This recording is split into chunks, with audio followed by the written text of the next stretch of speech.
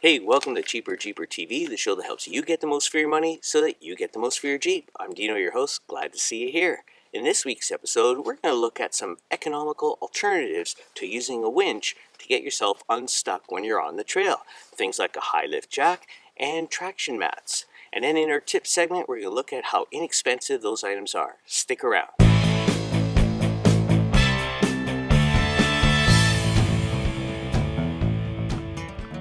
You know, with the good weather coming and we're starting to dream of getting out on the trail, it's always good to make sure that you test out your equipment. I know, for example, one of the tips and tricks of using a winch is that you should regularly unspool it to keep it lubricated, and it's also recommended that you practice using the winch before you're out on the trail. You don't want to be knee deep in mud before you realize there were things you needed to know first. Well, in that light, a subscriber reached out to me. His name is Dieter, and he invited us to join him while he practices using his high lift jack and traction mats as an economical alternative to using a winch. It seems like a good idea, and so we're going to go out and join him. And then in our tips segment, we're going to talk about how you can get that kind of equipment for a little money. Let's have a look. Well, the first lesson I learned off of Dieter, and unintended at that, is that when we met at our location, he led by example and practiced environmental stewardship. So, the lesson learned here always carry a garbage container or garbage bag to pick up any trash you see along the trail. You know, in fact, I even received emails on my website from viewers who are disappointed at the impression that Jeepers are giving to others in the community that we don't care about the environment and that we're trashing up the trails. So, something as small as this can go a long way. I'd actually like to see this on the list of items that people take when they go off road. Whether it be ice, snow, sand, or dirt, there's going to be times where you're going to be stuck. And our first tool in our arsenal is putting our Jeep into four wheel drive. But sometimes it still isn't enough and you're going to have to use some other tool. Let's see how the traction mats work in this example.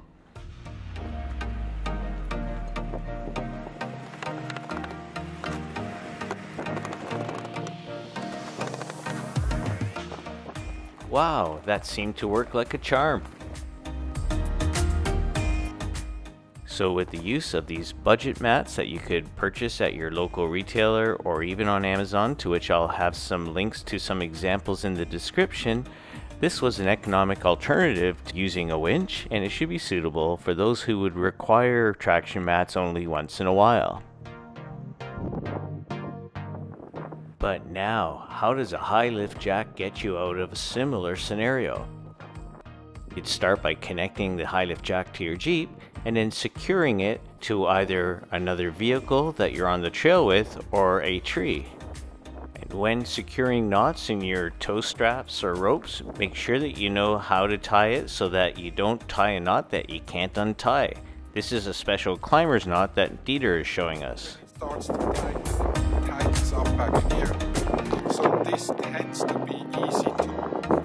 This one through. Once this is back through, it's basically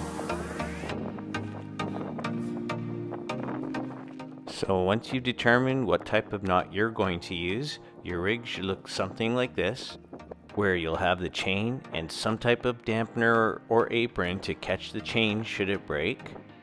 And then there's the high lift jack connected by another chain to your tow hook on your Jeep.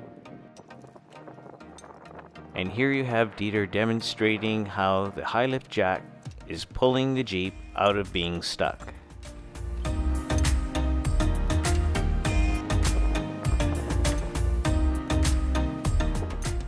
It certainly seems to be working out quite well at this point. But I would be remiss without saying that the use of a high lift jack is something that you really should practice the way Dieter is doing right now because it is a very dangerous tool to use, especially if you don't use it properly.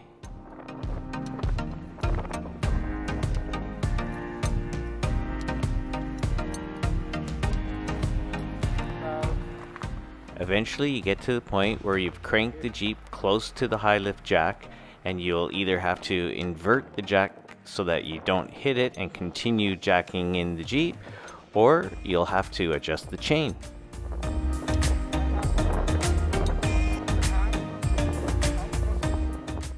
When you've jacked the Jeep in as much as you can and you still need to be cranking it in, it's time to loosen the high lift jack and reconfigure the assembly.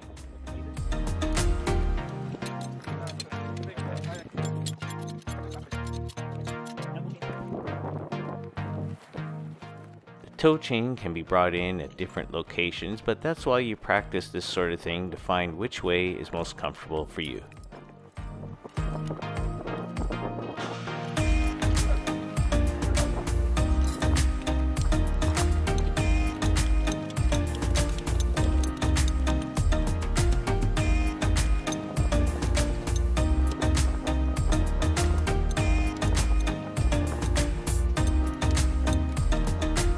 Well, I guess Dieter has shown that you could use a high lift jack in lieu of a winch as an economical alternative to getting your Jeep unstuck.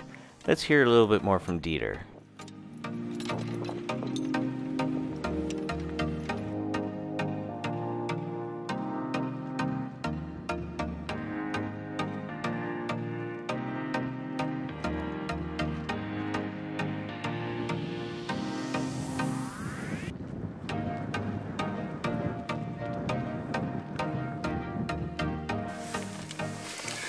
Hi, I'm Dieter with STDI.com. Uh, I had a decision to make to buy either a, uh, winch or a jack, and the cost obviously is quite clear. The high lift jack is 150 bucks.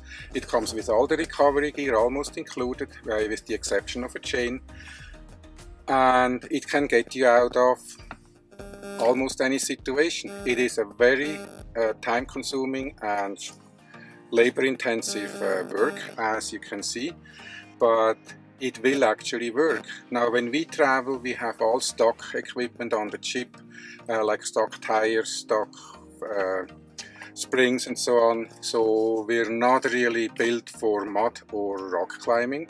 Uh, we're putting a trailer so it's really a stock Jeep and our motto always was do not go into mud but sometimes you just get there. So, and that's why we have the jack. If we get into trouble, we call jack and the jack gets us out.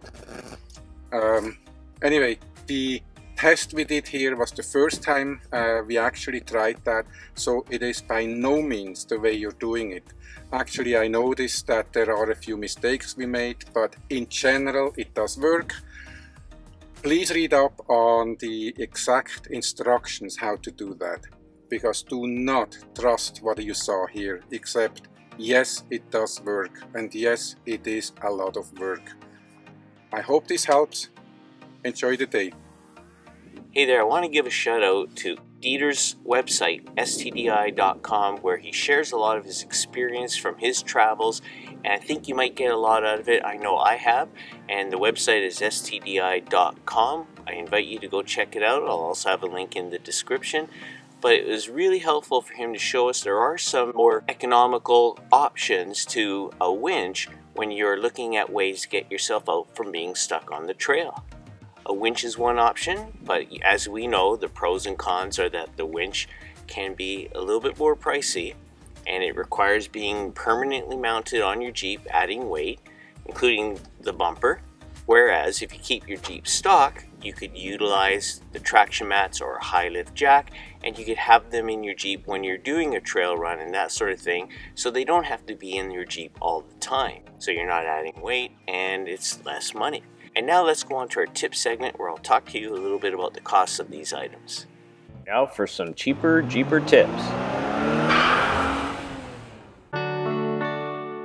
If after watching this video, traction mats is on your shopping list, you can always check out online reviews like you see here on the screen. The link to this review will be in the description, and you can see the editor has his editor's pick and I have included the link the editor's pick in the description section as well.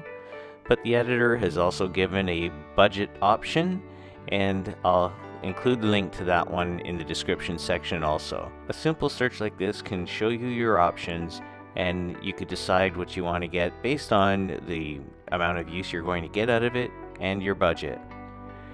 And of course, you could also check out your local retail store for these types of items like Princess Auto, Canadian Tire, and the such.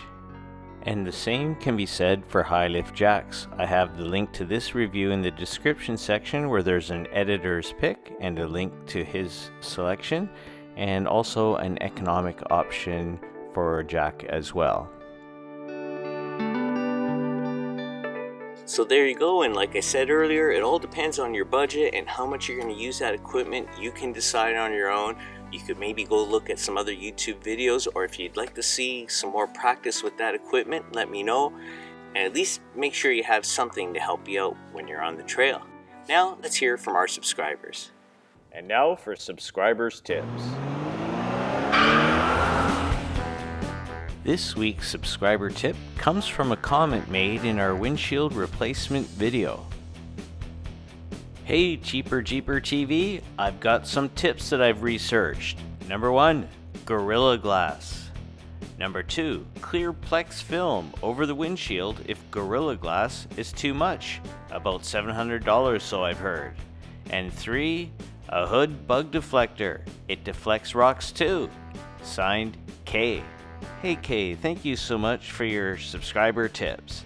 And if any of you out there have subscriber tips that you'd like to share with the Cheaper Jeeper TV community, please feel free to share them in the comments section below as they may make it in an upcoming episode. Thank you very much. Hey, well, that's it for this week's episode of Cheaper Jeeper TV. I hope you found it interesting, and if you did, how about giving the video a thumbs up? And if you haven't subscribed already, I invite you to do so right down below here so you don't miss our next upcoming episode. Until the next time, I'm Dino for Cheaper Jeeper TV. Be well, stay safe, take care.